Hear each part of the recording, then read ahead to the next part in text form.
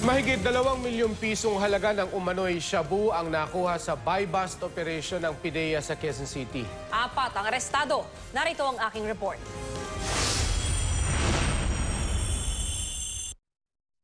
Third times the charm para sa mga operatiba ng PIDEA nang matiklo nila ang mga umunay drug pushers sa ikatlong transaksyon nila.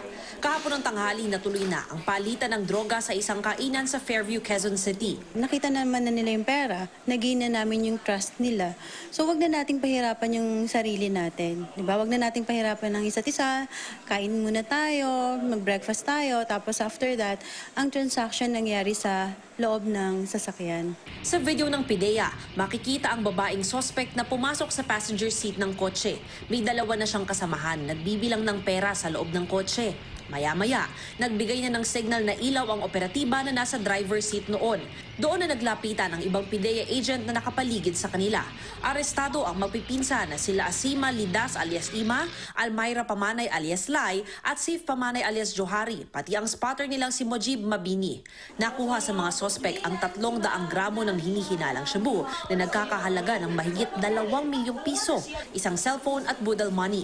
Itinanggi naman ng mga sospek na nagbebenta sila ng droga. Hindi ko pa makakilala yan. Hindi ko po alam yung ano, yan yung ano, laman. Kasi ano daw, yung magkamag-anak daw yun, yung dalawa na nag-uusap. Ayun kami yung naanuan.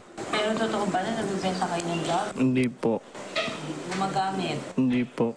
Ayon sa PIDEA, nagbabagsak ng shabu sa bagong silang Caloocan, Novaliches at Bulacan ang mga sospek. Tinetrace pa raw nila ang ibang kasabwat ng mga sospek gamit ang cellphone na na-recover. Sa tingin namin, mid-level sila. Tapos yung isa nating nakuha dito, um, sa tingin namin, malapit siya, malapit na kamag-anak sa source. Kakasuhan sila ng paglabag sa Comprehensive Dangerous Drugs Act.